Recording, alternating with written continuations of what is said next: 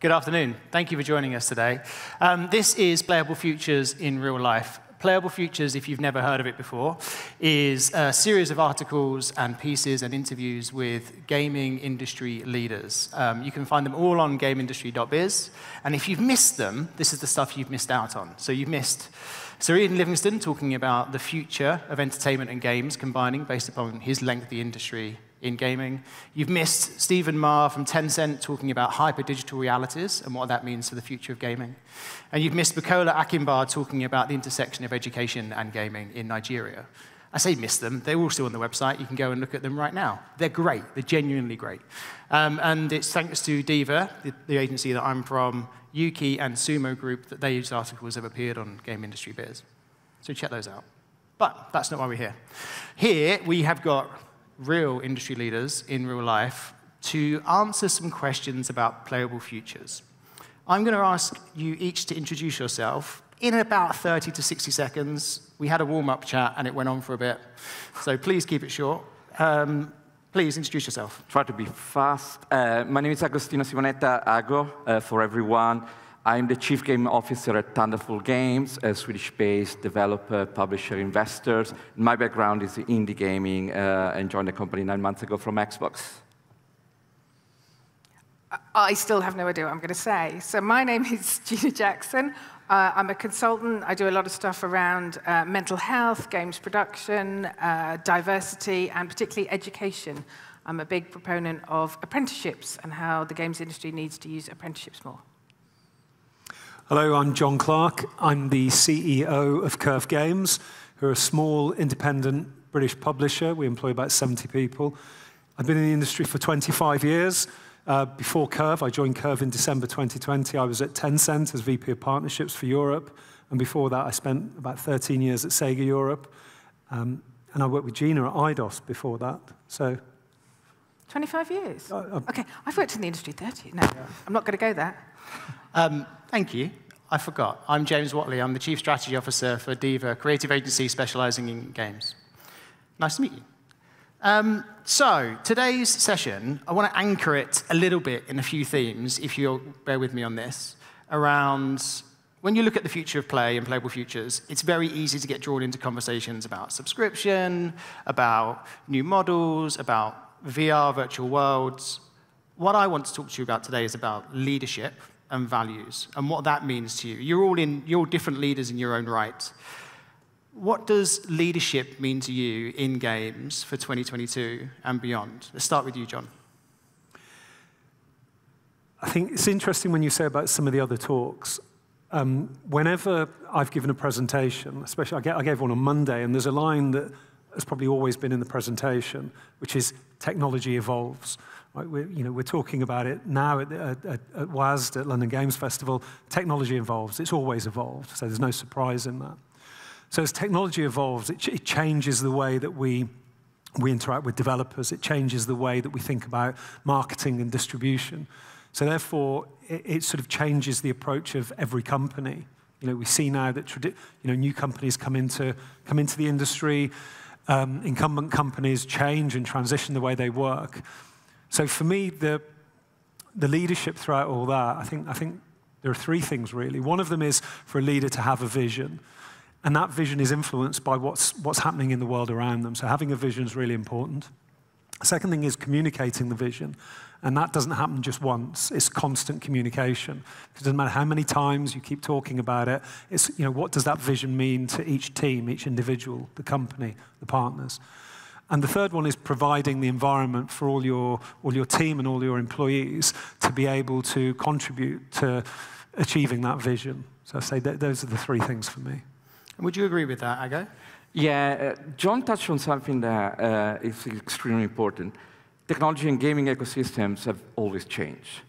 Today, as leader in the sector, we are facing the fastest ever evolution that we have ever had. I talked about the Darwinian evolution of the system happening at that speed is incredible. Uh, my background is indie dev, and then I worked at platform, PlayStation and Xbox for 12 years, and there's been a lot of evolution, the indie movement, the free-to-play and platform, but the speed today is way faster than what we were seeing in uh, before. And as leader is how do you build an environment, a company that is able to react uh, and to be ahead of that curve. And one of the things that in our chat earlier we talked about is building a company that feels that failure is not the end of a career, A failure is a process you go through, and as long as you learn from your failure, uh, it's actually an improvement of the company. I think that's one of the challenges we have because we are all making mistakes all the time in an environment that we don't know where it's going to be in two, three years' time. Uh, if as a leader you don't enable your team to fail every now and then and feel that they won't be punished because of that, then you're going to fail because you become a stale company that doesn't challenge its own business model. That's interesting. So from a, from a, pick up on the failure point for a minute. As I understand the technology sector, the learning from failure, failures generally, battle scars, that's a very American way. If you're failing, you're learning. In Europe, I don't feel like that's an actual thing. Failure is seen as failure. Is that the kind of cultural shift you're talking about changing?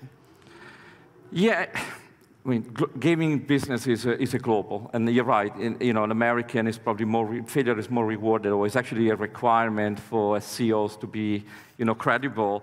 Uh, it is a challenge, and there we have it in Europe more than than other countries. Uh, you know, our company is spread around the world. We have people from South Africa and South America and Sweden, the headquarters, and uh, so you have all those cultures. But yeah, we, we, in an environment that is so uncertain, if you don't enable failure, they are never going to challenge your own business model. They're successful today, but might fail tomorrow.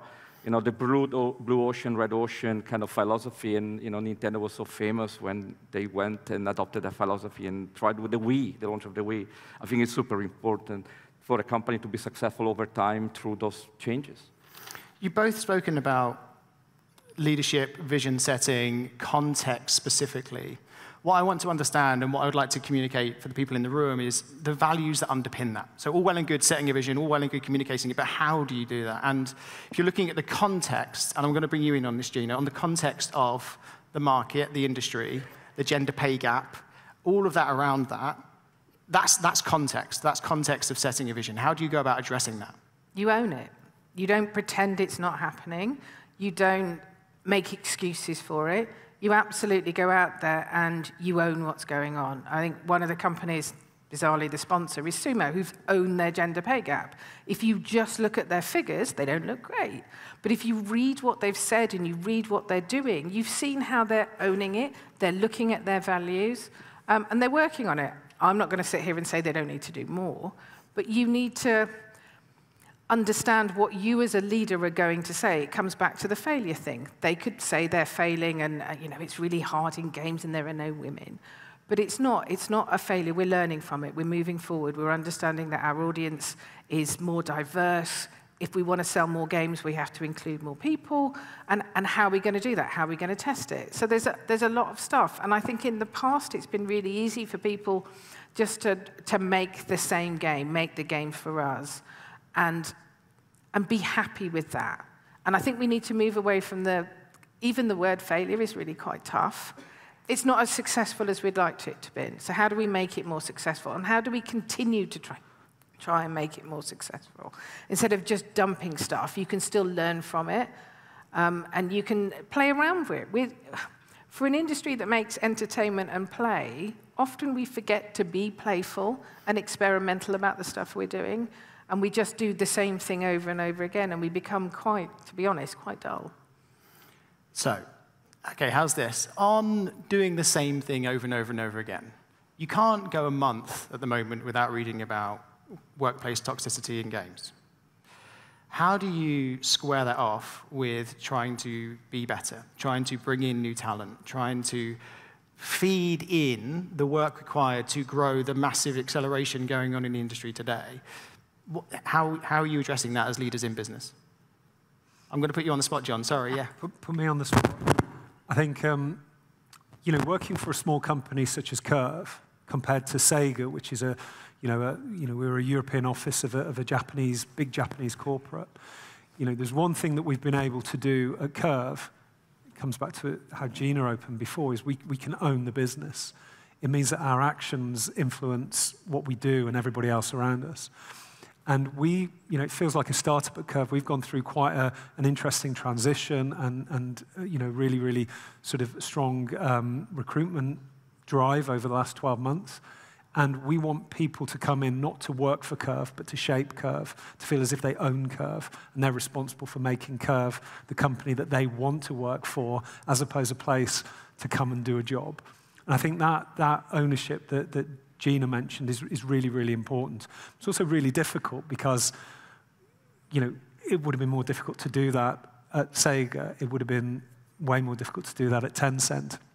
So, um, you know, providing the environment, we, we can do that at Curve, but we need everybody to do it at Curve who joins. Would you say the lessons you've learned from Microsoft help you do that at Thunderful? Yeah, more than happy to talk about that. Uh, yeah, I joined Xbox in 2014, and I left just uh, at the end of June last year. And I think Microsoft in general has been on a great journey, uh, great leadership from Phil Spencer in the gaming, uh, and Satya Nadella. And fair to say, when I joined, my leadership team and the chain was great people, and they looked very different from the chain of command when I left. And it, uh, the, the great thing about working in such a big corporate environment where you learn uh, you know, the resources they have and the opportunity they, they give you to learn. And I think it's something that we brought uh, over to, um, to Thunderful when I joined. And, uh, and I think value, so we have our mission and our vision. Uh, we just published the yearly report, so because we are a listed company, so it's all public what our values are and our vision. And for us is diversity is the first one, uh, inclusiveness, sustainability, and then two other oh, oh, points of what we call our North Star is we want to be commercially successful and we want to be properly organized. But what I said to the team recently is that the first three are the most important. And there are two angles to look at those values. Is one, there is the moral aspect, the human rights aspect, which should be the, for everyone the number one criteria, right? We need to be diverse because it's the right thing to do.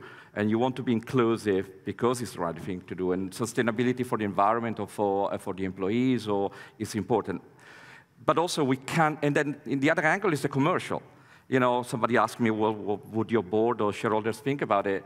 If people don't believe in it from a moral point of view, they need to believe in it because company cannot be successful long-term in an evolving ecosystem without doing those things.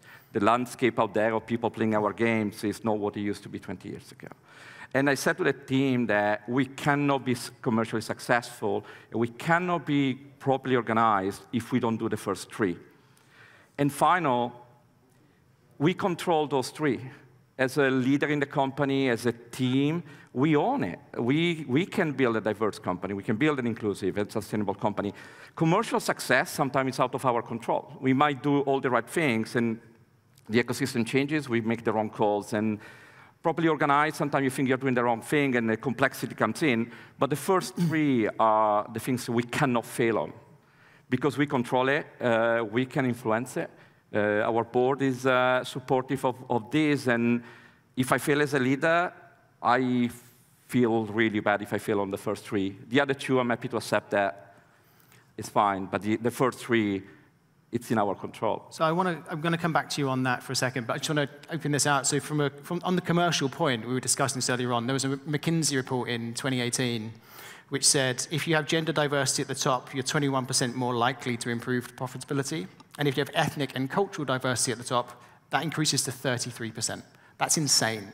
Just by implying and, and implementing diversity, gender, culturally, yes, you've got four white people on the stage telling you this, um, that's painfully aware, but it can have that kind of difference on your bottom line. On coming back to being diverse, it's all well and good sticking it as a label on the wall. How are you applying that day to day? Are you putting it, for example, in people's annual reviews? It's funny, you seem one of my board members. Uh, Cecilia from the, the, board, when I presented this vision, was like, that's all nice and good, but what does it mean? And I only joined nine months ago, but the idea those values are meaningless if not part of the lived experience uh, and the team every day. Uh, starting from HR processes, being hiring people, how are those actually implemented in your hiring process, in the, your review process, in the way you present the games, in the games you create. So effectively, it's a clear understanding of all from the team, and I have somebody at the back there that can, uh, can confirm or deny, but they need to be part of your day-to-day, -day, your goal, your tasks. Uh, you know, your success as an individual is I delivered my deal, I delivered on time, but if I've done it in in a way, that excluded the people around me. There's not being respectable of this value. You still have failed, and as a leader, I fail. So they need to be part of your operation day to day. It's not just a value you aspire to. They need to be implemented in everything the company does. Your experience of consulting with many different companies, how does this kind of leadership sound to you? New, rare, amazing, embrace something to embrace? It sounds quite common these days. Right. I think we probably 70% of companies get it and want to do something about it, and there's probably 30% of companies who are fine the way they are because it's working for them today. But as we hit this skills crisis we're in, we've, you know, if you look at Games Jobs Live, there are 2,759 jobs live today, and only 167 of them are for junior roles and 60% of them have been live for more than a month. So anyone in any company can get up and go somewhere else. And for that commercial reason, I think companies, the 30% who weren't keen on it before, are suddenly going to get keen on it because if they want to keep their talent, they need to create an environment that people thrive and want to be part of. And you know, as more of those toxic stories come out, people are going, well, hang on, do I want to be part of this? Or if there's not a leader at that organization taking responsibility and changing that, then, then people will just leave because they can today. And in a way, that makes my heart sing because we'll finally show that this industry can be diverse and supportive and brilliant. On that supportive point, it's interesting. I was reading a lot about, um, well, these days the focus on mental health as well as physical health. And when you read about games, you read about crunch. I don't know how you can square it off that crunch is a thing when we are supposed to be caring about people's mental health and, let's be honest, physical health while they're crunching. How, how are you applying rules around crunch in your businesses? Can I just add one comment, maybe to get you out? I was working with, when I was at Safe in Our World, the mental health charity, we were working and doing some research about how consumers feel about companies who make their employees crunch. And we expected people to say, yeah, yeah, that's awful, but we'd still buy the game. But actually, from the research we were able to develop, consumers said actually, if they really understood what people were going through, they probably wouldn't buy the game. Now, that research never came out, and I'd love to see that research done properly. But again, back to that commercial thing, if you go back to companies and go, actually, if you push people to crunch and people get to know that, that's going to impact the commercial stuff of your game, I think we've got a better chance of eradicating it. Yeah, I think that's a really, really good point. I think from our point of view, I think there's a, there's a couple of things. One, we're a small team. Two, we're a very fresh team, and we're a transitioning company. And we're trying to sign a lot of games, and we're trying to ship a lot of games. We're working with about 26, 27 different publishers, uh, sorry, developers, all with different technical capabilities from 11 different countries, different creative capabilities, different characters, different timelines, different milestones. So within that, sort of, it creates a, an incredible variety of pressure points. And it's not just about coming together as teams to work with the developers, It's coming together to work with each other and understand if we belong at the company. Because if you know, we've hired 50 people in about 15 months, that's 50 people that have started a new job. That's 50 people that have left an old job where maybe they felt really, really comfortable. I mean, I spent 13 years at Sega. I know what it was like to go to a new company. It's stressful, regardless of whether or not you think you're doing a good job, regardless of how busy you are. So, so really, I think there's the recognition that, that people work hard. A lot of anxiety, a lot of stress is caused, and a lot of impact on, on, on mental health. Now, that doesn't solve it. Just to be able to talk about it, it doesn't take it away. You can't just have a, competition, uh, a conversation and just, just take everything away. So it's, it's an ongoing process. And I think, you know, for me, it's just continually talk, continually educate yourselves, show progress in those areas. Progress is one of our values, and, and that relates to a lot of things. And one of them is our understanding of each other, our understanding of how, how the world changes. And, you know, well-being and, and, and mental health seems like quite a new thing, right? You know, we're talking about it way more, way more than we ever did. It's, it's, it's, a, it's, a, it's an illness that people can't necessarily relate to because they can't see it. So it makes it really difficult. So we just need to keep talking. Interestingly, someone said to me once, And this is, probably isn't going to help anything. Someone said to me once, and it was about a particular working environment, not one that I'm in now, one that I was in uh, quite a while ago, is that they said, no, no one is going to come up to you and say, work less. Right? No one's going to walk up to you and say, I can see that you're, you know, you worked 15 hours yesterday. Can you work eight tomorrow? That's not going to happen. And I think it could happen at Curve. I want to make sure I can create the environment where we can say to our line manager, we can say to ourselves, it's actually okay for me to switch off now. And we know that there's work that needs to be done. We know there's a deadline that needs to be met. But as long as we can provide the platform co for communication, and we're not there, um, hopefully we'll be able to work together. That's another one of our values um, to get through it. Yeah. What about you, Aga? I couple of weeks ago at GDC, I, I, gave a talk about something completely different about pitching. And uh, one of the comments I made, I left development because of crunch. So I love development. I started as an India, worked on FIFA and a lot of other products. And I left development, one of the reasons was crunch. It was no longer sustainable to have a normal life. Uh, so it's something that has got better over the years finally, when we talk about crunch, we talk about in a negative way, when probably some of us in the early days of our careers were in crunch. It was actually lifestyle. Uh, we were all younger and, uh, you know, very different situation. And kind of people accepted it. It was a given. Uh, and it wasn't tolerated. It was normal. That's what you do. You do crunch. And, you know, people my age still, oh, you know, I didn't sleep one night. We did 48 hours without sleeping, and then we crashed. And now, finally, we are in a situation where it's negative, not just for the people in the industry, but then the gamers look at it from a negative point of view. I think with the evolution, when we talk about diversity and uh, you know, inclusiveness or crunch, uh, we are on the right trajectory. Whether the right speed of evolution, then is arguably, and it changes from company to company. But finally, we are on the right trajectory. So crunch is not something that's acceptable. And studies are out there that should actually crunch doesn't help anyone. The final product doesn't, is not better, you don't ship on time, you, you lose candidate. So I think finally the conversation is, has the right turn to it, it's a negative and it's accepted. It worked for some companies, we know that there are a lot of companies out there that believe that crunch and I don't know how sustainable it is when, Gina, you're right. Today, especially a company like Curve or Thunderful Games, you know, we're at least a listed company a bit bigger than Curve, but we are not the giants. We can't always compete on monies or the size of the project. You're also competing in values and the, the lifestyle and the, the, way people feel about your company. So that is going to help the evolution. But let's not kid ourselves. I had a conversation with somebody, the LGF launch on Friday, and, and I'd not seen her for a long time, but I'd followed her career, and she's doing amazing things. And I said, oh, since I last saw you, I had a baby. I've got a four-year-old. And, and she said, oh, that's amazing. And I said, look, don't, don't kid yourself, it's really hard. Um, it's really hard at 48, really hard. But she looked at me and she said, I, I'm not sure I want to have children because both of us work in the games industry and we both crunch, and I don't think we could do it. That, to me, was just a heartbreaking story. It, she works in an industry where she's asked to put her career before her family life. And she's thinking that already in her, in her mid 20s.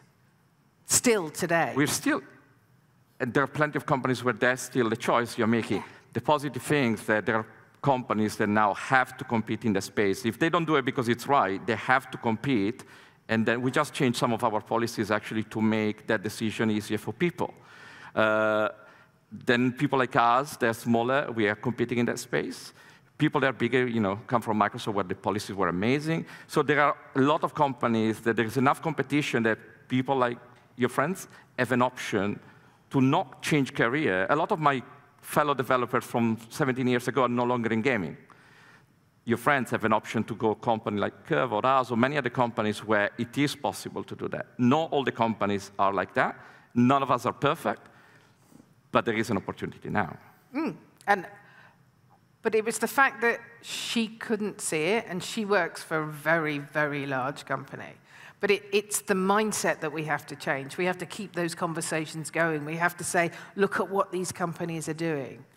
And interestingly, just to say that, you know, some of the bigger companies are also some of the companies that have got some of the best handbooks that they give out in terms of supporting well-being and diversity as well.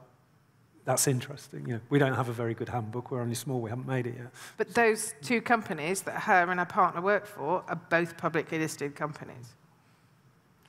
Being publicly listed doesn't make you any better. Just, no, no, it just no, makes your quarterly results more visible. Uh, and, you know, it's important that you do it and not relying just on the reaction of your in investors or your board, uh, whether they like it or not. You need to do it because you believe in it, because sometimes some of your shareholders might don't mind or they might not looking into it. You really need to do it because you believe it. Being listed just makes scrutiny easier, generally it's on the financials, or when there is a scandal. So I don't think we are any better as a listed company than Curve is because it's private. It's the leadership team needs to believe it.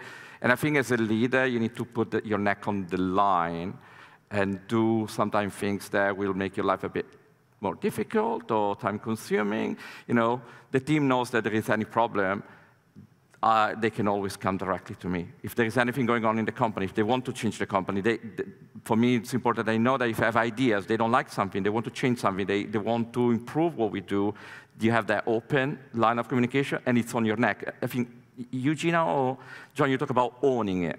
Yeah, but I would say we need to encourage people to, when they're looking at a job, not look at the job or just the job.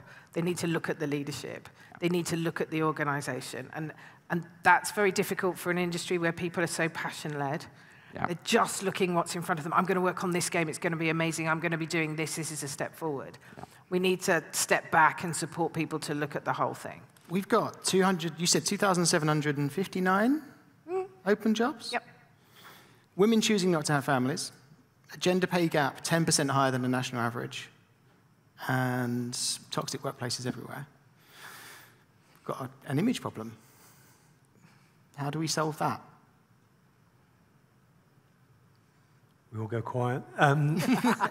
I mean, but I mean, I mean, don't get me wrong. I'm sat yeah. on this stage with good company, okay, yeah. and that's one of our values, by the way, David. Yeah. good company being good people, making sure that you're setting the right standards. Great leaders yep. are defined by the leaders they make behind them. Yep. And so, to your point, when they're coming in and looking at mm. a company and saying, "Oh, look at that leadership, look at their values, mm-hmm. look at you know the reviews that they're getting from ex-employees," yes, but as a sector, as mm. an industry, those stories are few and far between. Yeah, I'll go for. I mean, let's let's look at the vacancies firstly. I mean, that that's you know, that just shows we've got a vibrant industry. I think that's yeah. it. We've had two, two years of the, you know, I think last year, global industry worth $175 billion. The year before, worth $175 billion. They're the two biggest years in video games. In 2023, it's forecast to go through $200 billion. So that's incredible. Right now, for one reason or another, finding people is difficult. There's a skills gap, there's a skills shortage the consumption of content, particularly throughout the pandemic, has, has, is at an all-time high. And therefore, you know, there are lots of studios and businesses that are being acquired. You know, we've just seen the, the biggest acquisition in the games industry of $68 billion, where Activision were bought by Microsoft. This is all for talent, it's all for content. So, you know, people are paying well, so th there is a big hoovering up of the talent. Now, for us, the same as for Argo, hiring people is really difficult. There are more jobs than people. Now, why, why is that? Are we getting enough people into the industry? We, we're not seeing, certainly throughout the pandemic, it's really difficult for new people to come to the games industry because they, they can't relate to it. They don't know where it exists. So how do we build the environment to bring people into the games industry? So we've noticed that. And then when you hire more senior people, you're hiring people that have been in the industry for 25 years. And we all know who they are and what they look like. And, and you know, and they've all got to change as well. But, you know, the, the skills gap is real. Available talent is real. Companies, you know, getting big injections of cash to hire more people is real. Now, when you So that, that needs to be solved through, through education, through Brexit and the free movement of people. Um, th those are, two difficult things. And then the next thing is the gender pay gap. I, I, I won't claim to be an expert in this, but I remember at a company I was at before, the gender pay gap was gen generally caused not by, not by the same job you know, being valued any differently, whether you're male or female, but the fact that there were more senior males yeah. than there were females, and that's what, what drove it. And we're, we're going to be the same because I know that from, you know, from, from our sort of, you know, gen, gender balance, I think we're, I think we're, we're, we're not at the average. We are, we are 72, 28, I've checked. So we're not at the average, so we know we've got work to do. Um, but because of that, we'll have the same average at, at a senior level as well. So we have got more higher paid jobs taken by men than by women.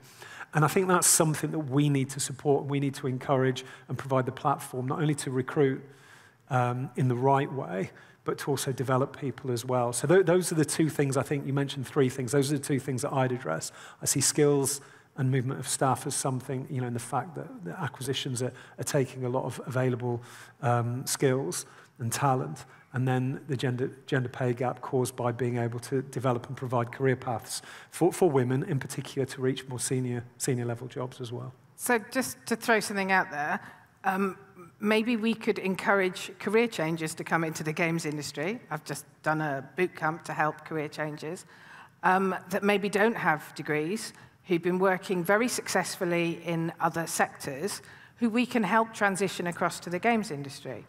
But actually, most companies aren't open to that. You go and talk to them, and they say, yes, we've got a skills problem, and yes, we'd like to hire some people. And then you look at their job ads. Well, you want to be a producer? Well, you've got to work on at least one title from start to finish. Okay, but, but how can you do that? You don't want people who've got really good project management skills or really understand technology or no, no, you just want this. Oh, have they worked in QA? They're brilliant. They're coming through. And I'm not saying that people who work in QA aren't brilliant producers. They are. But if you've got six producers, let's have a couple of QA. Let's bring in some who've worked in totally different sectors, who bring different skill sets. And employers say they want it. But then when you turn up, as I did, with a whole bunch of boot campers, who've, who've spent six weeks working on live projects, have been exposed to 40 industry experts who are ready to go, people say, oh, yeah, but they've not had five years. But a couple of companies I worked with did. One of them being Secret Mode, who took somebody on who came from Marketing Insights. She's amazing. Um, you know, she's worked with Costa Coffee, Virgin, she's worked with these big brands. She's offering something new. So I think we've got a skills crisis. We've got a great way to diversify our um, employees by bringing in these new talents to help with our leadership, but we're totally close to it because we want degrees. We want the same people we've always had. I really we like need to break that. Mid-funnel talent swap. That's really nice. And being open to bring people from different backgrounds. I'm not going to name names, but every month I do an intro call with new employees, and uh, there was a new employee that uh, joined us completely from a different background, so TV and production, and suddenly she joins the call and introduces herself. I didn't know her, didn't know her background. And suddenly, as a, as a Thunderful, we're big company, we also have an animation studio. And suddenly, this lady is like, well, that's my background, I know a lot about that. And suddenly, like, hold on a second, this is why we need to bring in people from different backgrounds, because suddenly our needs are different, because we evolve a company. Suddenly, you know more about that than me, who actually need to decide what we're going to do with that part of the business and you bring fresh ideas and different point of views. We have a very, very senior production role uh, person that come from a completely different industry, project management skills, knew very little about games in terms of production, never been in production, outstanding. And then you start off bringing new ideas small companies, as we are, maybe sometimes you have this tendency of hiring, you have less money than the big companies, you don't have the processes, you don't have the setup, you hire people you know. And let's face it, people we might know, they tend to be kind of like us. They've been on this journey for over 20 years. Uh, and you know, you're not really bringing new ideas. They might be super good, but quite often you're bringing stale ideas. And instead, if you're open-minded and you bring in people with the talent, and they're clever, they might not know exactly that function, but they can learn it very quickly. That is super positive. And another way to diversify the company. If you're looking for developers in the same pool, the people that have been around for 20 years, chances are, because of the history of the industry, you know, 90% of the engineers will be male, or you know, in the PR, 80% of the PR might be female. You know, you need to broaden that horizon. Otherwise, you're stuck in that pool. And uh, university was doing better for a few years. I was teaching in a university in Spain, and uh, year after year, we had more female candidates. Year, the first year was like a couple, and then the year after, actually, some of friends of friends told the friends, oh, you know, it's a valuable career, and, and it, it changes. it's a journey. Nobody has, a, Yeah, nobody has the answer. If any of the three of us had the answer and the solution, we wouldn't be here. We would probably, you know, be in a different role. But we are on the right path. We are making mistakes and making, doing something things right. But I'm generally positive about the direction uh, of where we're going.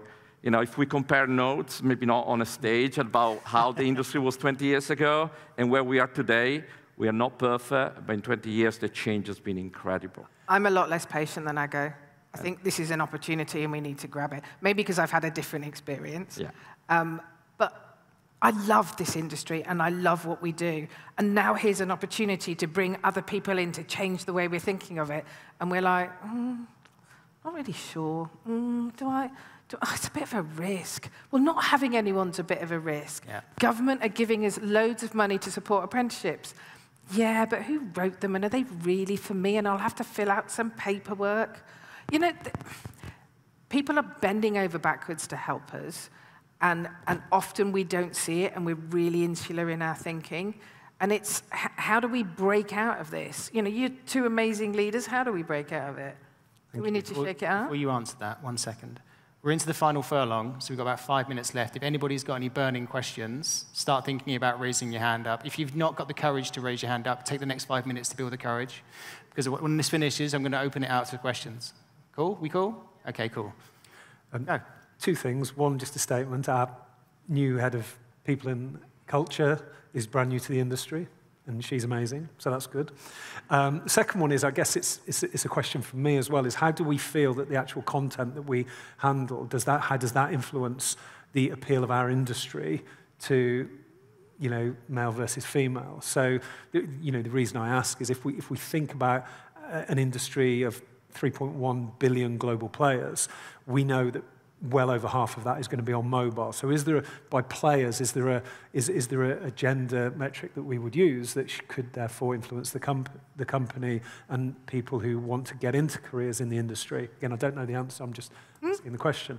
And, and th this, this thought came to me when I was chatting earlier this week, um, and I hope I don't say anything wrong here, um, to a friend of mine who's uh, CEO of Star Stable, You know, their, their, their gender balance is, you know, they have more, more women than men. You know, now, is that, this is where I'm going to run into the danger that more women like horses than men. I don't know. Is it, is it a sport that is, you know, pop populated? It, it, I don't know if that's the gender thing. I have no idea. So I think my, my, my question would be, do we think that content and the fact that there is going to be a gender balance across Call of Duty FIFA versus Candy Crush But I think we Does have to be impact careful that diversity is not just gender. Yeah. I'm a mm-hmm. 53 year old woman. I won't play the same games as a 15 year old girl. We play different content. Is mm-hmm. the content available for me that's different or comes with the things that I like? I like Married at First Sight if they made a game, but I also like Disco Elysium. I like lots of things, but they need to be tailored to different people because you can't just have the same people making the same games. And I want to jump on one thing, because you ask, how do you make this happen? So this is not an advert for the company or for myself. Uh, Oh, you actually should absolutely advertise your company. There's people watching at home who want a job. So Uh, what, you're one of the let them know. things that you said, you know, we have value that we've been, we are set. And then, you know, we are uh, about 300 people. We have nine development studio, publishing investment. We have people all over the world. What we've done is, as leaders, we have empowered the company to tell us what we need to do. So we just launched a diversity committee. All the companies are part of the group, they have representative to that. And it's their job, using our values that we built together, to actually tell the leadership team what diversity, inclusiveness, and sustainability means. I'm getting older, I'm not young anymore, and I don't leave the experience that maybe my kid here in the front row uh, is living today. And we sometimes we are we have an unconscious bias. We don't live and breathe, you know, some of the topics. But in my company of 300 people, I have plenty of people that can tell to the leadership team, this is what we need to do. We know something that you don't know or you don't understand, but we can help you.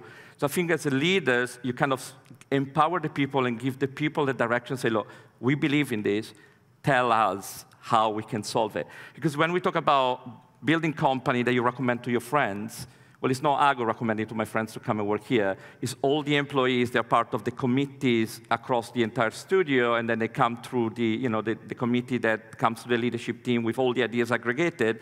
They are the people that need to go out there and be confident that the company we're building is the company that their diverse friends or people with different background would enjoy. Um, empower your people to tell you that you're wrong and then what the direction is. I like that. Ending on empowerment. Any questions from the floor? I you can see in hand, got a hand. Would you mind going to the mic for me? Thank you so much. Hello. Um, how, if there was a developer who's considering, you know, going completely solo on Steam or Oculus or whatever, how would you convince them to go to a publisher like yourself and to play devil's advocate? How would you say to a developer who might actually be with a developer that they might be better off on their own? Sorry, this is not about diversity, but that was the question I had. Yeah, yeah. My question to you is what, what's your motivation? What's success look like for you? What are you trying to achieve? Do you, do you want loads of money? Do you want to finish the game? Do you want to finish the game with great mental health? Do you want everyone to know about your game? What, which of those things do you want? Because that's going to lead you to the answer. The person who wants to go to the publisher. When I go. Okay, I want to jump on it because that was my talk at GDC. uh, it was actually uh, define what you want to achieve, who you are as a person, what your dreams, your goals, your values. If, if you want to work with someone, decide that your values are the same as their company values. And it, it was a long talk, but also, do you need a publisher? Now, you have two companies here that we do publishing, but we are not just a publisher. And, and the argument is like, do you need a publisher? What do you really need? You need money. Publishers are not the only source of money. You need support. You might find better options somewhere else maybe the publisher is the answer, but first define what you need, who you are, what you need, not, and even if it's money, it doesn't need to be a publisher. And then speak to people in the industry, watch my talk if you want, I can send you my deck. You might not need a publisher.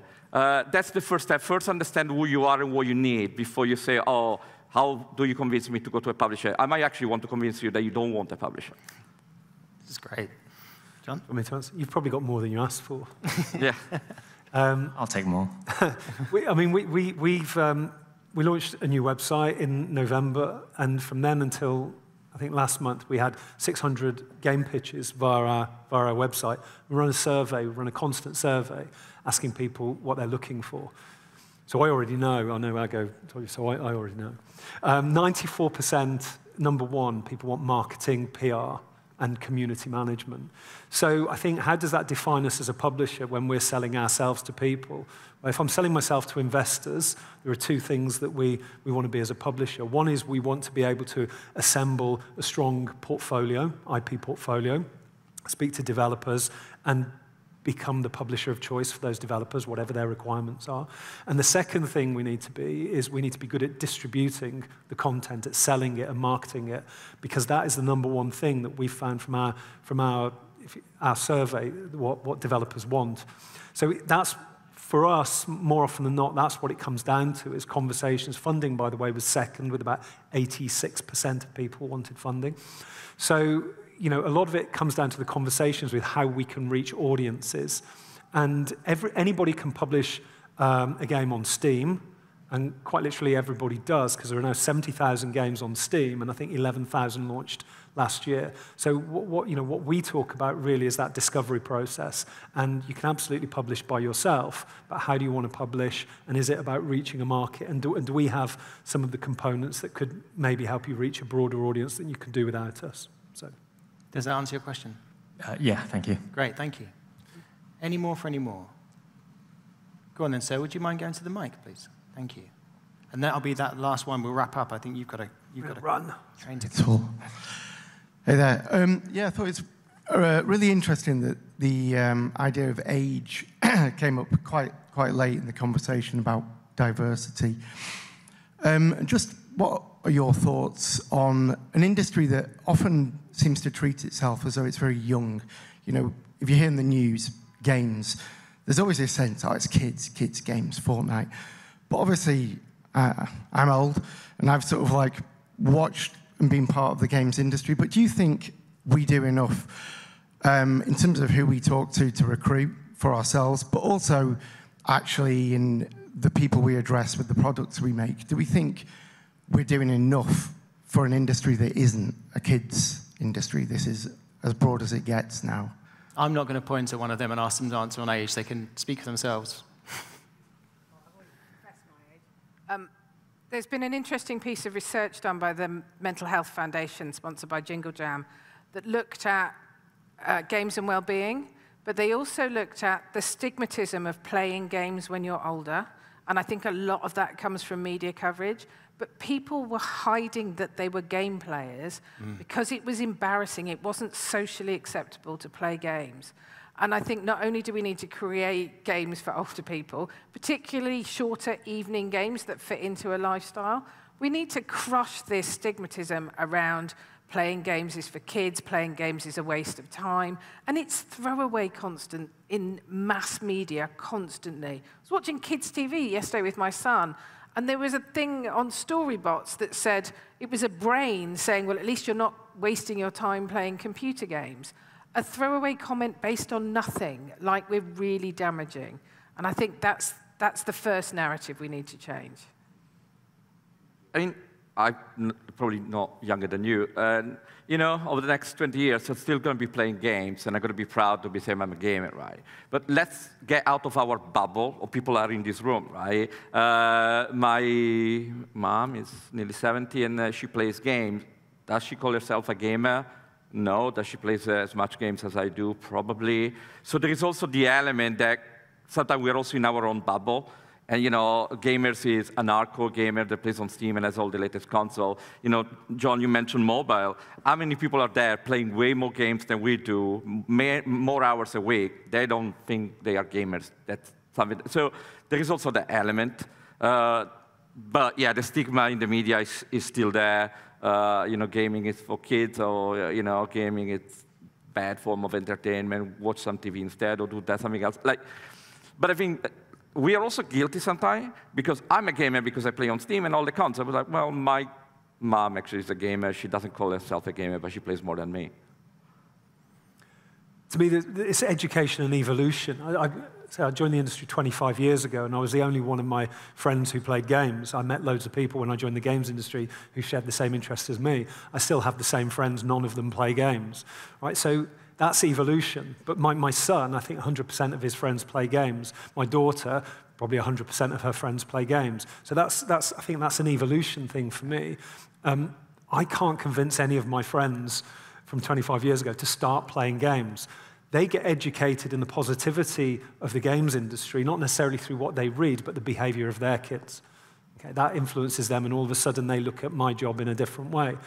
So that probably sounds like a bit of a cop out as an answer because unless you've got people in the media who are interested in games, how are you going to convince them to be interested in games? So it's more about you know, the narrative of being pragmatic about the industry, of how successful it is and the figures that go out and the scale of it compared to the movie industry and other entertainment industries.